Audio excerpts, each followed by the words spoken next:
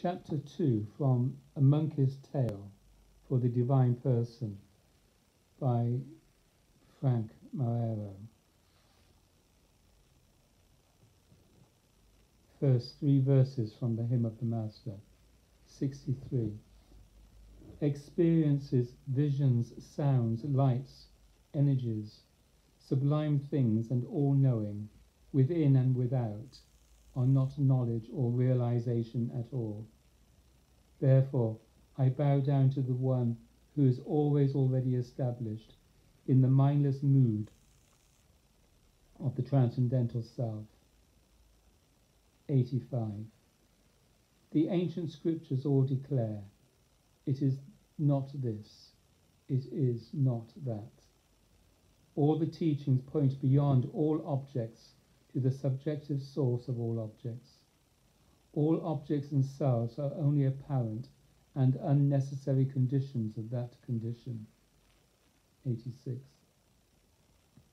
The Master is himself that very source condition, or transcendental self principle.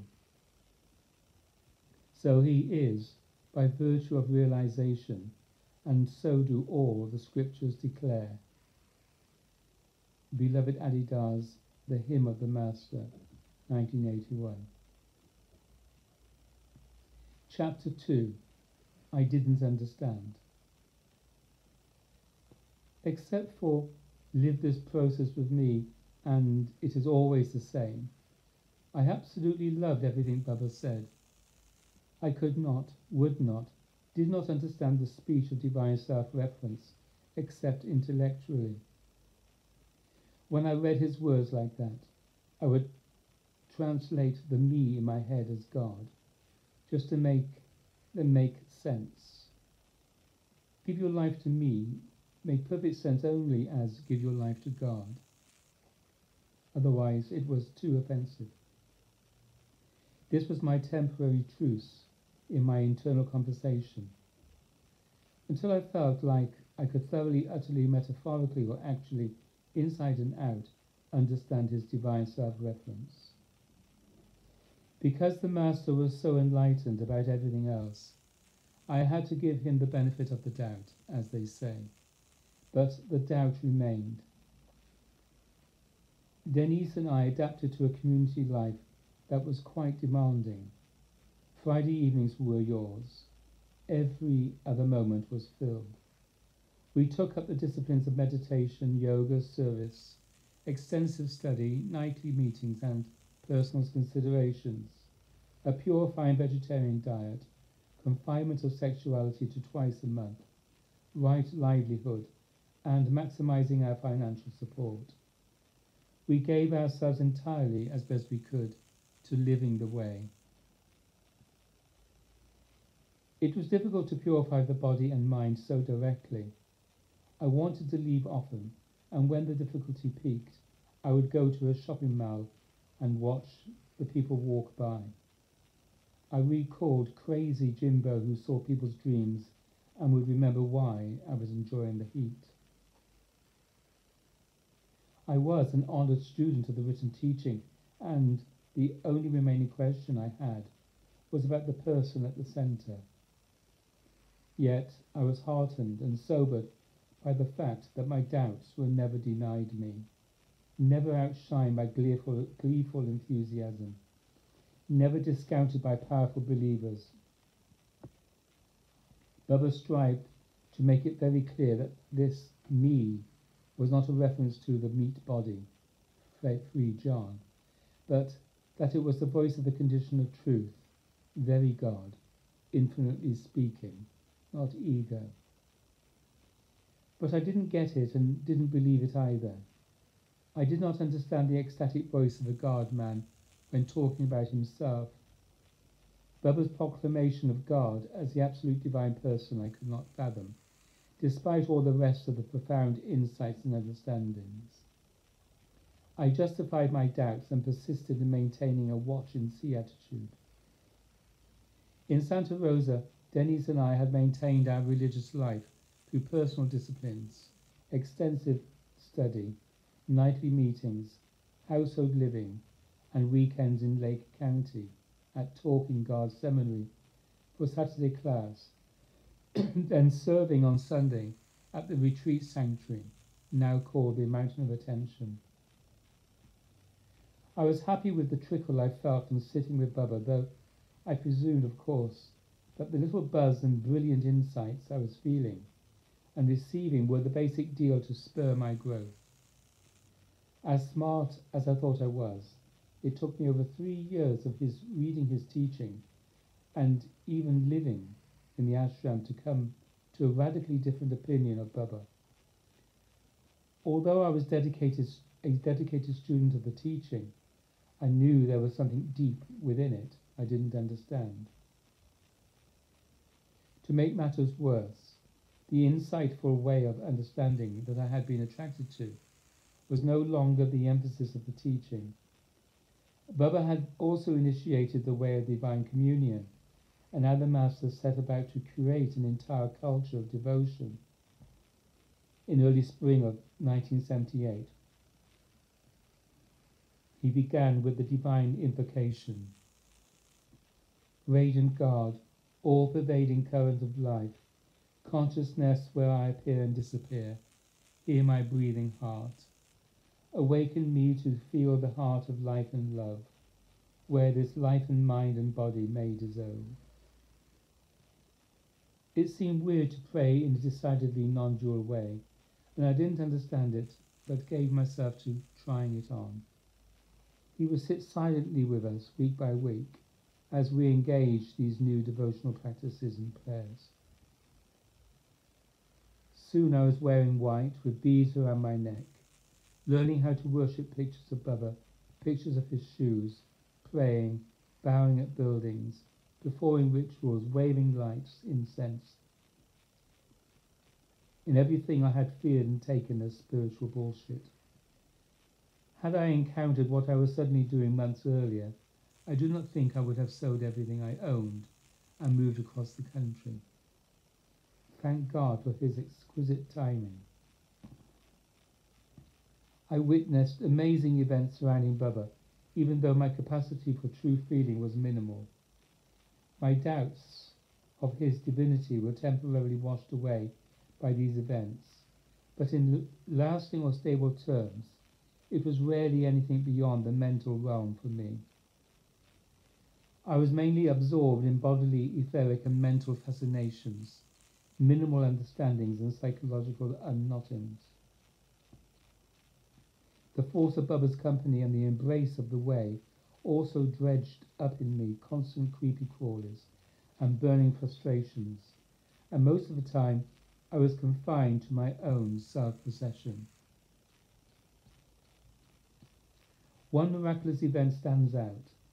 In the summer of 1978, during the famous 10 days celebration, 330 students were sitting in Western Face Cathedral, now Temple Adi Da, practicing the new devotional cycle and ceremony we had learned from our teacher. At first, it was no different from other sittings, where the internal chattering and subjective forms bubbled and boiled with ferocity in my mind, often yielding at last to a temporary clarity. The Master actually took great suffering from us by some method I did not understand, but obviously enjoyed. His transmitted clarities acted as guiding enforcers to right life. Sitting with the Master this time, however, was different. I felt like Baba stepped into me personally, intimately, and began to instruct me step by step, inch by inch, nuance by nuance, on the process of meditation. Where I would begin to zoom in good feeling, he would turn me to understanding and discrimination. When I began to dazzle in the insights, he would swirl with belovedness and demonstrate the mindless heart. When I felt love for him, he made sure I felt the divine person, the all-inclusive, all-pervading one, not a cultic bond. He taught me how to conduct feeling and the breath and how to yield to love. When I began to fall into any dazzle or settle for any satisfaction, it felt like he personally would guide me beyond it, so that my yielding was for God alone. He seemed to take me by the hand and give me the most intimate, detailed instruction and guidance for about an hour. I was sublimed, graced, exalted. I sat amazed at his gift and service. Then, as I began to rest in his perfect fullness, he rose and departed. After silently receiving prasad, usually a gift of an almond cookie, from his chair by priestly attendants, we rose, row by row, and left Western Face Cathedral. As was the custom, we continued to observe silence to honor the power we received until we were putting on our shoes, and then only whispered. I couldn't wait to tell my friends what extraordinary instruction and sublimity I had received.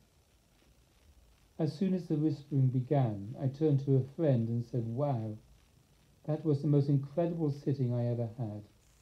I felt like the Master was personally giving me the most exact instruction about meditation. My friend excitedly told me he too had received the exact same gift, a personal invasion, nuanced by intimate nuance. Our ears quickly told us everyone else was relaying the same experience. A personal tour and intimate technical instruction from the inside out on the process of meditation. Suddenly, we all looked up in silent amazement that Bubba could personally give the same personalized gift to hundreds at once. 330 people sitting silently for almost two hours, and all had the same unique experience of instructive possession. I was amazed and blessed. I was living and working with fellow devotees in Santa Rosa, California, about 50 miles from the Mountain of Attention. During the summer of 1979, Master Da would often send out an invitation for all nearby devotees to come as soon as possible. Hopefully, we could drop what we were doing and rush to the sanctuary. One mid-September day, however, when we were almost to the sanctuary, we had just rounded the mountain from the nearby village of Loch Lomond and saw gigantic flames apparently coming from the sanctuary. The antique wooden buildings did not stand a chance in the dry California summer. Was his house and our beloved retreat center being destroyed by fire?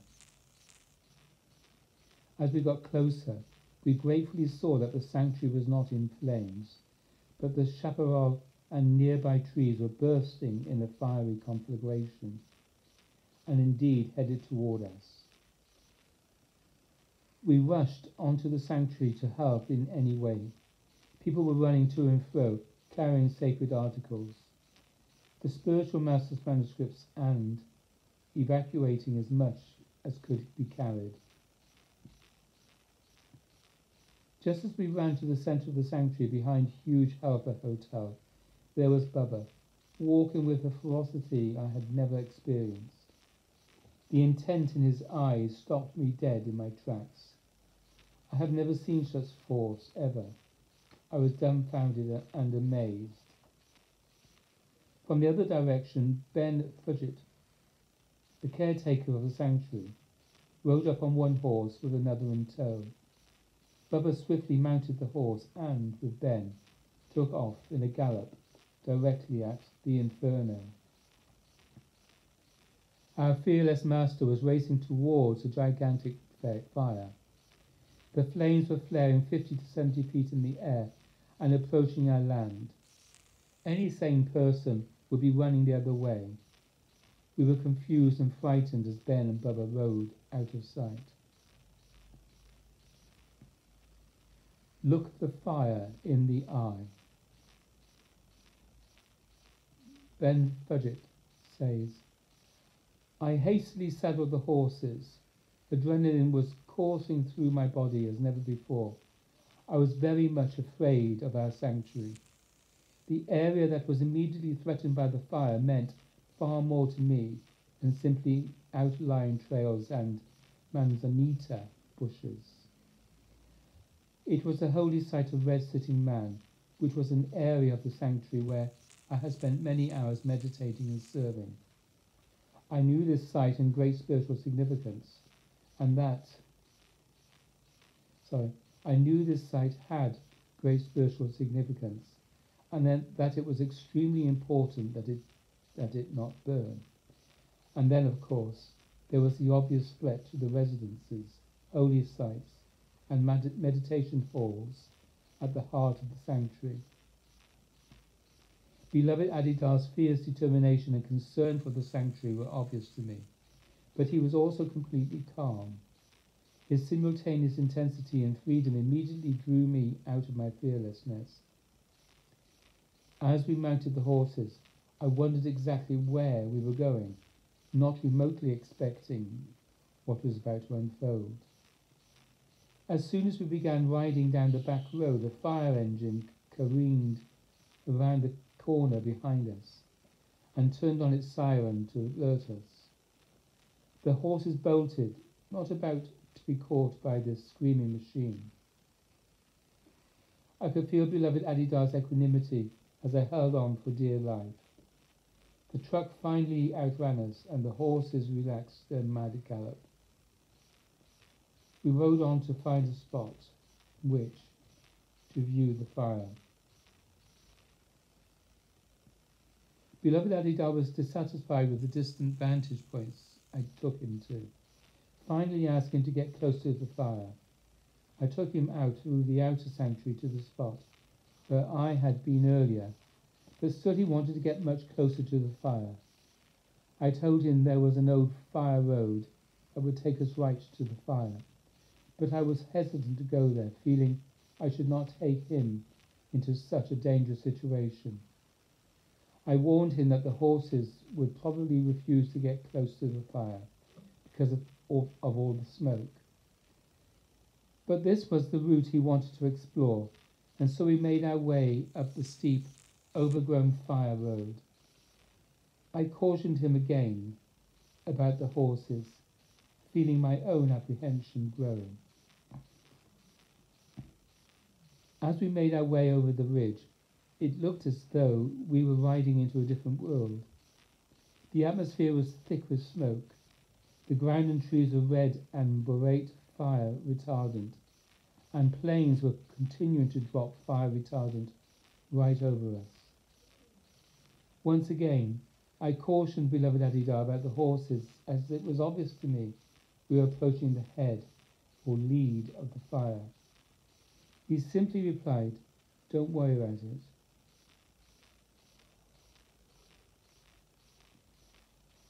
We wove through the trees toward the roar of the blaze. The wind was coming up and fanning the flames. Spot fires burned on either side of us.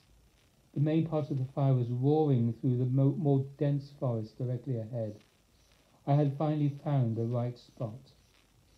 This was where he wanted to be, right in the path of the fire. I was afraid. It seemed to me that we could easily be trapped by the fire. It was moving so quickly.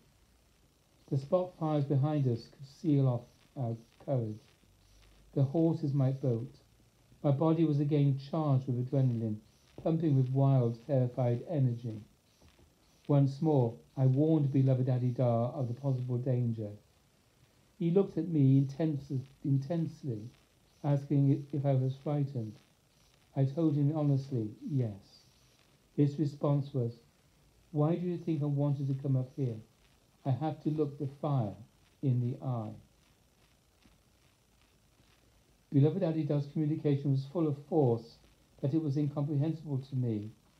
I could feel that his complete freedom and uncompromised attention was on the blazing fire. fire. In that instant, I was relieved of my fear. Suddenly, instead of feeling overwhelmed by terror, I was released into love, and I only wanted to contemplate my beloved Guru.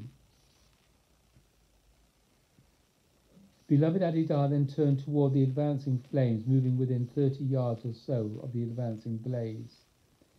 The heat, roar, and force of the fire was amazingly powerful. Flames exploded at the sides of two enormous trees directly in front of us, as if to confront beloved Adi Da. I could feel this great force of nature over against the master of life. I also noticed, much to my amazement, that the horses were completely calm almost as if they were out grazing in a pasture.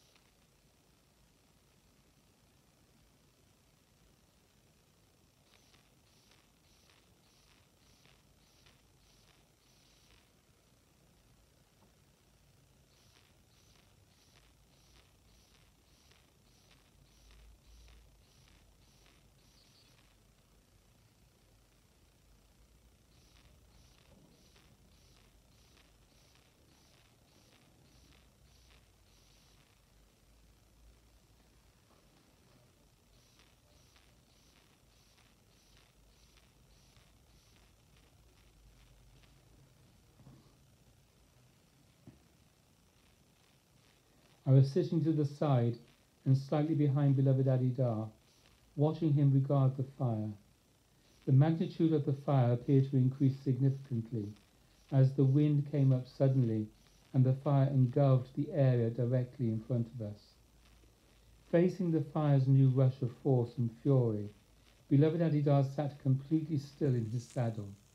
His only movements were the spontaneous motions of his face and hands in various mudras very much the same as I had seen many times during formal darshan or meditation occasions. I felt him radiate divine fire in the force. Sorry, I felt him radiate divine fire in the face of that forest fire. Whatever else he might have been doing, beloved Adi Da was radiating the most benign and yet fierce and awesome power I had ever known. After what must have been only a few moments, although time seemed to be suspended and warped, the fire died down, then receded. The winds stopped. The consuming power of this fire seemed to be bowing down to the Divine Heart Master. I am sure that it is difficult for the reader to picture this moment, but that fire had been transformed. I can only say that it was a mysterious and awesome moment to see and feel the divine adept change the course and magnitude of a raging forest fire. I sat still in mindless wonder. Beloved Adi Da then turned back toward the sanctuary, moving slowly through the trees, stopping to talk for a time. We looked over the scene. The fire was still moving, but much more slowly now, and not directly toward the sanctuary boundary. When we arrived back at the main sanctuary complex, I was surprised to find all of beloved Adi Da's belongings, all of the sanctuary files and records, library books and machines being packed into waiting vans and trucks. Apparently, no one had remembered my instructions to wait until we returned before deciding to evacuate. Beloved Adi Da was just laughed as he dismounted and sat down on the steps of his residence. Amidst a sea of packed horse boxes, he kidded me about our trip up to the fire and teasingly told everyone Ben was so afraid he almost shit in his pants. A few days later, I walked back to the spot where beloved Adi Da had work, worked with the fire, reflecting on all that had occurred there.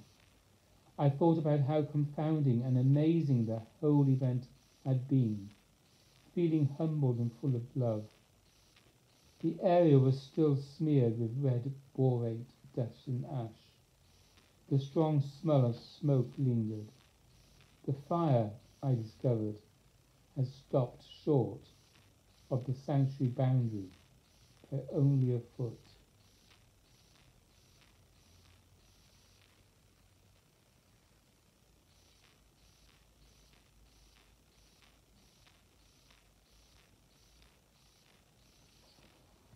Another significant lesson from this period is relative to diet. I had been on a super pure diet for about four years, eating mostly raw foods, sprouts, salads, fruits, and fresh juices. I was very thin, pure, and ascended.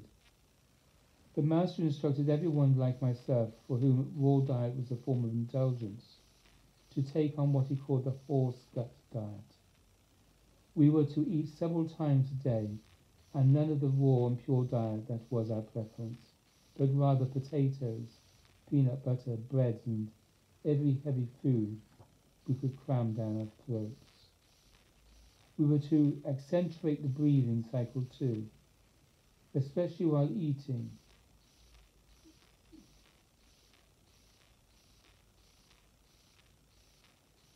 We were to accentuate the breathing cycle too, especially while eating, emphasizing reception and releasing obstructions.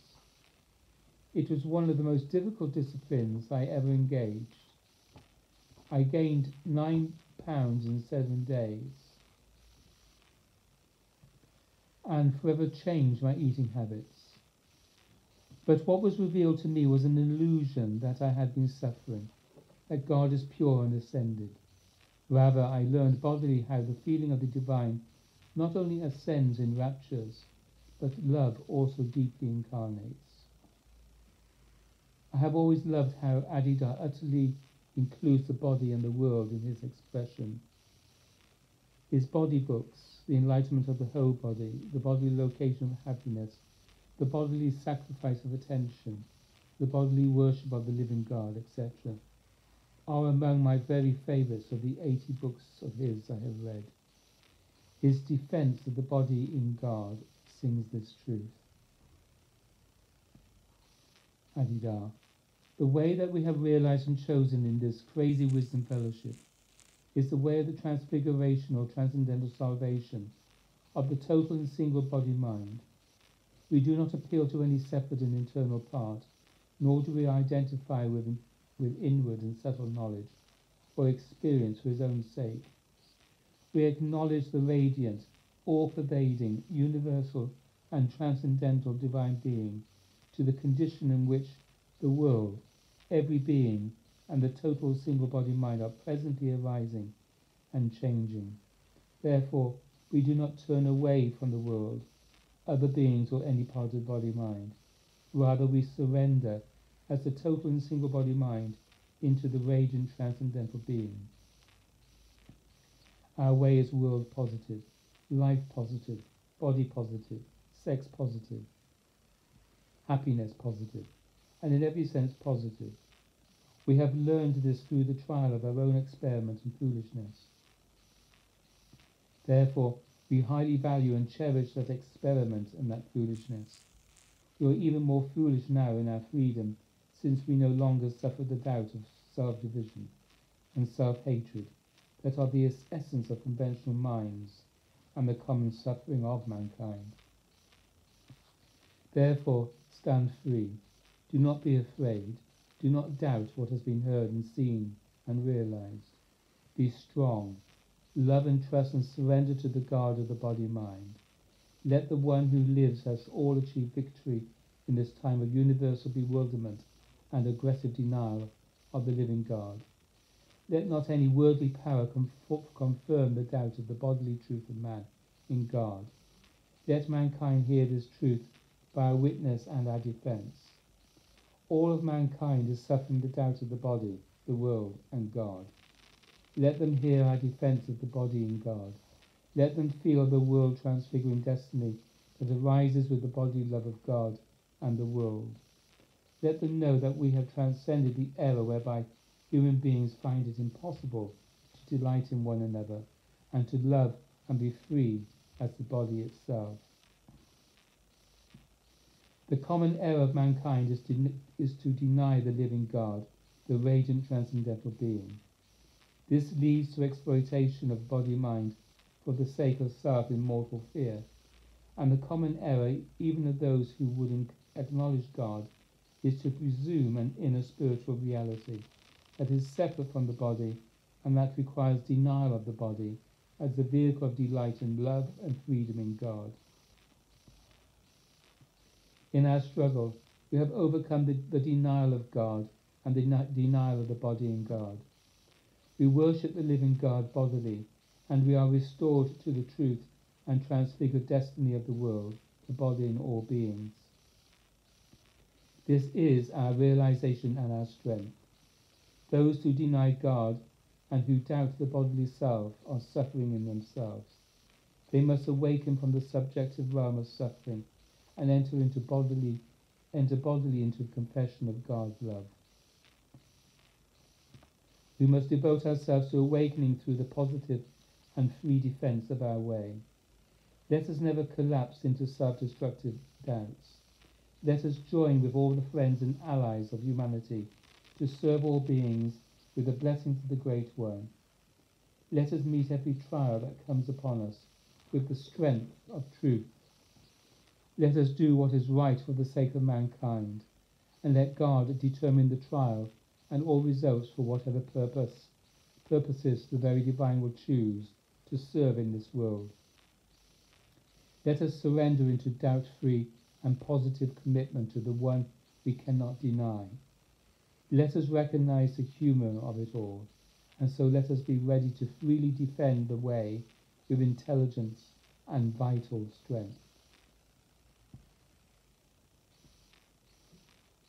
While I still did not understand Bubba's claims of the divine person, I thought he was enlightened for sure, for only an entirely different order of person could have the kind of effects he was manifesting while illuminating human experience with such scintillating brilliance.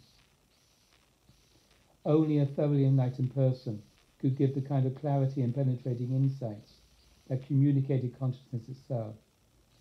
I thought his claims of divinity were descriptive not actual, perhaps a kind of metaphor, the way that everything is divine, and thus, of course, he would be too.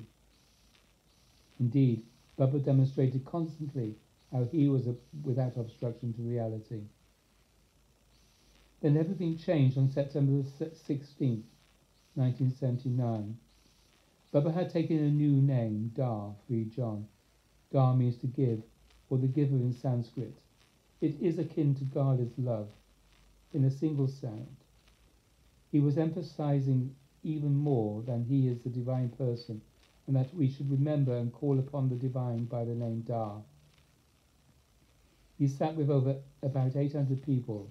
Most of them can tell you of being overwhelmed by his loving presence. I barely noticed. I'm sure I stuck out like a sore thumb to him letting a little buzz in and chewing on it like a dog with a bone.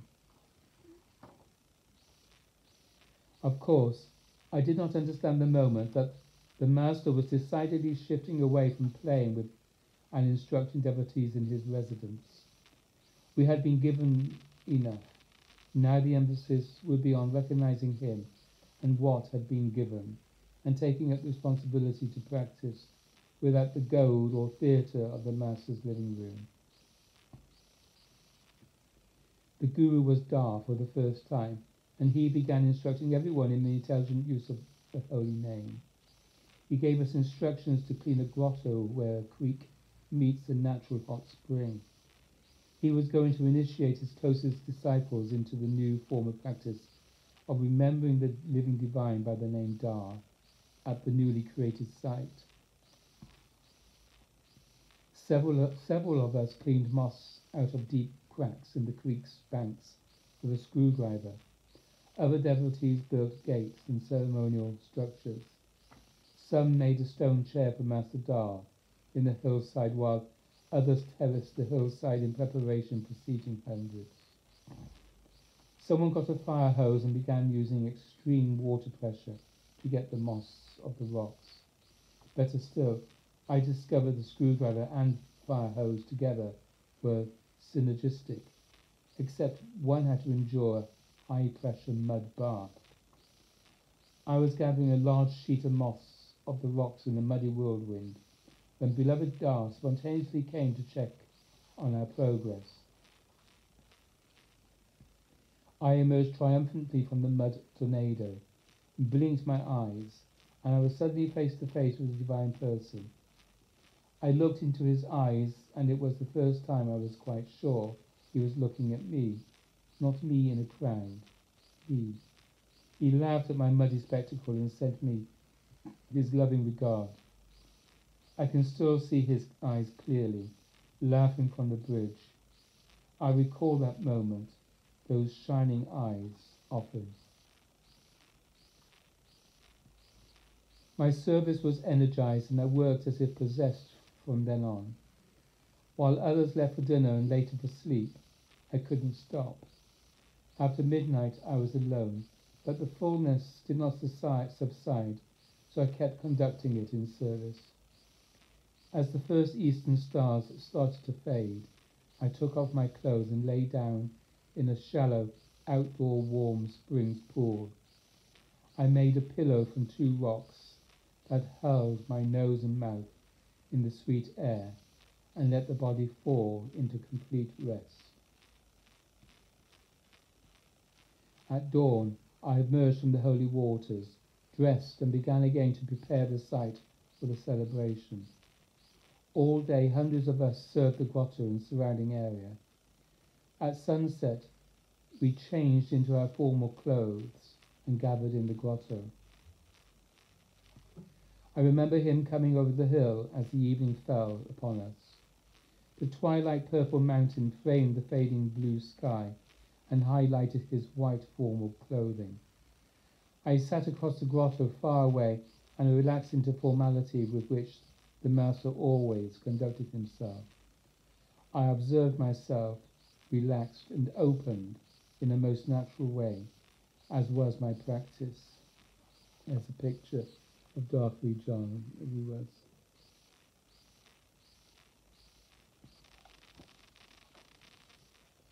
Suddenly the air became as if thick, and I could see, literally see, from Master walking outline, waves of light and energy emanating from him. As these waves washed upon me, my body was thoroughly engulfed in a raging sweetness. I watched in awe. With every successive wave that washed upon me, I relaxed more deeply than at any time in my life, each time deeper than before. Soon my body and life were utterly melted into the infinite life field. My breaths were waves in the body of the nameless divinity as I continued to visually see this divine light emanating from Master Da. This was not mental insights and spiritual ascension, peaceful or clear. It was not a transcendental or sublime buzz. It was vibrant, powerful transmission of heart bliss, rapturous baptism dissolving every limitation. I was joyfully stunned, then let loose in recognition of a full-fledged God-transmitting master. I saw that my harbored doubts about the divinity of the Master were at last only reflections of my own recoil, and the previous years of doubt were seen in truth as my own avoidance of relationship. My contractions dissolved in the current of his force of love. And there's a picture of the author, Frank Marrero. I experienced the sensation of the mortal lower coil of my loveless life unfold in his transmission. Wave after wave of joyous bliss washed across and through me until my body was one with the manifest universe. The awe of the procession surrounding the initiations took place in a timeless time. To say I was awestruck belittles the majesty with which he had engulfed me. Then, surprisingly, I felt a similar coil from the heart upwards, unwrinkled and uncoiled. Soon I began to see a light golden mist falling across everything as the mind followed the body into the same uninterrupted vibrancy. Now the fulfillment of the traditions whereby the body mind is made one with the all-pervading, living divine bathed me into delicious sublimity and pure awareness. The brightness of angelic visions and the nectar, nectarous sweetness of yogic, yogic soma completed the grand evolutionary urge. As this full unfolding became blissfully complete, I could see that even this great fulfillment was nothing. Nothing compared to the heart of the God man. The transmission of his heart bliss outshines all phenomena, low and high. Now I understood the teaching for the first time. I had been given the fulfillment of traditional seeking and evolutionary unfolding with its visions and bliss, and it was insignificant compared to the awesome divinity of his loving company. Dissolved and exploded in the love bliss of the heart, my deepest voice shouted thankfulness eternally again and again. Finally, I fully understood it when he said the way of the heart is greater than the path of evolution. Finally, I understood the way of satsang, the way of simple relationship with him, exceeds all else. Finally, I was available to the method of the siddhas.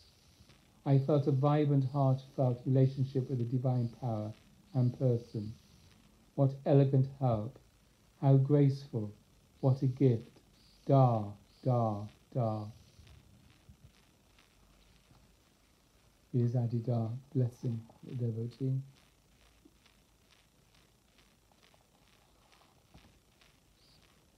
I watched spellbound as he initiated the nuntiate order into remembering the living God by the name Da.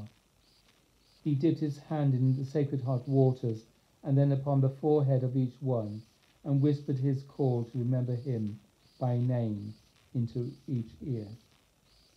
After the master left, I slowly returned to my former ego itself, but not quite.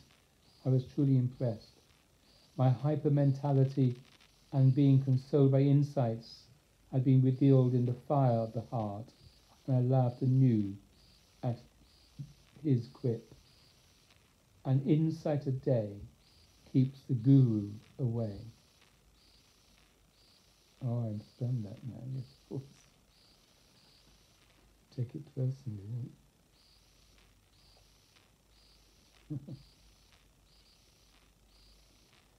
I continued to see and feel Master Da in a new light, though naive and immature.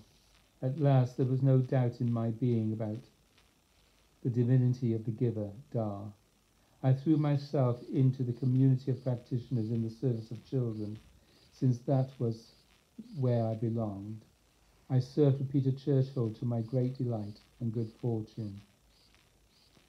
My former misconceptions I had about growing up and what children needed were dispelled by Master Da's teaching on conscious child rearing. My presumptions were understood as the philosophy and idealism of my immature ad- adaptation. Master Da's wisdom on the stages of life and particularly the stages of childhood served me potently, potently, and gave me a more realistic eye on my own human development. I received his transmission again and again in formal and happenstance meetings. This included meditation and also darshan or sighting of the divine person, an open-eyed demonstration of divinity by the Great One, the Mahasiddha, the great power in person. I often felt a sublime and fiery force emanating from him when I would open my eyes during meditation my perceptions of him would often float through distant times, mystic states, former masters and realizers. I would be amazed or enlivened, or I would be given excruciating self knowledge. When I shared the unique details and private experiences, they were surprisingly common. Hundreds of fellows described the same exact experience of seeing multiple faces of previous historical spiritual masters come, linger, and dissolve across the master's face. Amazed beyond belief, we were floored, and thank God there were his feet. I began to notice a pattern in the sittings with Master Da. I would look forward to them as a child was to getting something, because previous sittings had been so profoundly enjoyable. I would think, oh boy, here it comes again. Then, when I would sit with him, that sentiment and logic of getting a goody burn in perfect frustration. I would not experience his unique transmission of inherent happiness, of the love bliss of reality itself. Instead, I would intensely burn in painful frustration. When my error was sufficiently suffered and seen, I would be carried or I would turn from any projected happiness to reality itself and bow at his feet. His presence was at first a fire which reduced me to nothing. As he said, I am zero of the heart. In his company, I was burned, healed, surrendered, and enlivened. My friends I had known from Tennessee became interested in the teaching and were coming one by one to the Master's company. Michael Shaw and his intimate partner were getting married asked me to be the priest, since I was formerly religious and all. Egoically stroked, I was delighted. The day of the wedding came, and on that day I happened to be featured in the San Francisco Chronicle newspaper for my sprout business. Well, I got on my best preacher clothes and set about to perform the ceremony. Unbeknownst to me, Master Da was shown the newspaper article at the time of the wedding started. I didn't know what was going on, but started experiencing the unique transmission of divine power and extreme enjoyment. I was, it was similar to receiving his direct gaze during sitting occasions with him. Enjoyment and force bubbled out of me, and the wedding was transformed into his divine play and enjoyment. Later, we found out about his regard at that time. Well, everyone had one hell of a good time, which is just how some weddings go. For me, it was miraculous, blissful. His powerful regard to distant devotees is not rare. He spoke of this phenomenon as reported in Vision Mound, Volume 2, Number 5. Adi Da says, Anyone who comes close to me in space is my vision. People come and sit with me, and I dream their dreams all night. They wake up in the morning and they feel good because I have lived their dreams. Every day I live your dreams. If I give any one of you my attention in mere thought, I absorb all of your psyche, all of your suffering, all of your diseases. This is literally true. People do not understand that such a process is possible in human time, and yet this is my experience exactly. I agree, in fact, his washing of us became so automatic. I began to abuse it. Subconsciously, I felt like I could slide on responsibilities and I wouldn't feel bad too long about exploiting myself or others because I knew that the next weekend I'd come into his company and it would all be washed. Of course, grace only goes so far. It's like sinning and then going to the priest for confession or sin all week, be forgiven on the weekend. Grace only goes so far. He pointed out the abuse and stopped the sittings calling for self-understanding and responsibility. Of course, there's that other side of spiritual life. Just exactly how am I an also? What is the fine script of self I justify my separation by? Do I have a realistic eye about myself? Can I see myself as others do? Exactly what do I do to get attention? Can I see my lovelessness? my golden boy game, my egoity, and how I delude myself? To what degree of immediacy can I see my own contracting, my own withdrawal, my own avoidance of relationship? Damn thing is, it's true. The more of the dark I can stand in, the more I understand myself and my refusal to love. Confession grounds feeling and acceptance. Then, instead of reacting to my reaction and compounding the darkness, I relax in acceptance and understanding of whatever feeling is present, and feeling itself then allows inherent happiness to dawn. Master Da describes awakening teachers as the noon sun, the shadowless presence that shines into the dark places. One must put up with all those revealed squiggling worms when enjoying full sunlight. One other teaching demonstration I am most grateful for from this period is the consideration of sexuality. Master Da pointed out how no one had come to him free of emotional twists.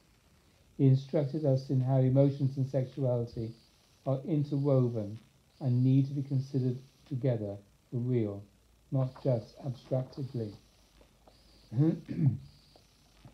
During the week, the Master worked with a small circle of the more advanced practitioners, the sanctuary residents, taking them through considerations and instruction.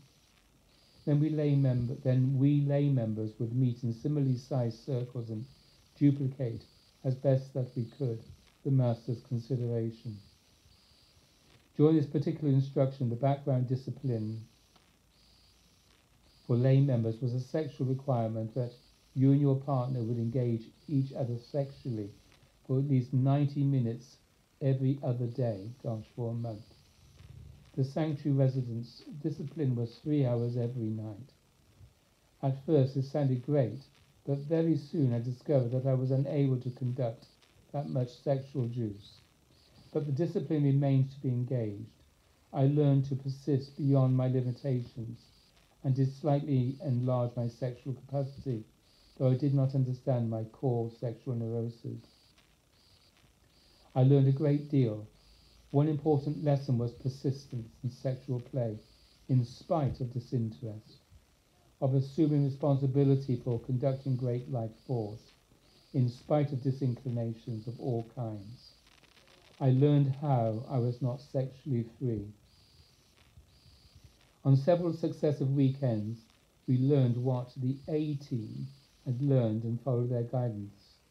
Couples did a host of exercises which included extensive listing and describing everything they liked and disliked about the other. Then, after such full disclosure, couples retired together and sexed for at least an hour. Sexual secrets were all outed. Couples listed others they had sexual feelings for, etc. The teaching about couples' limitations, sexual limitations, and feeling contractions gained harsh reality. The experiment was brilliant, engaging, and extremely helpful despite its difficulties. The book, Four Fundamental Questions, permeated the time and compulsory dancing on the emotional surrender to the divine is the book of Master spiritual talks during this period. This teaching demonstrated this teaching demonstration on sexual and feeling limitations was, would serve as the foundation to a deeper and harsher self-understanding still to come. Da.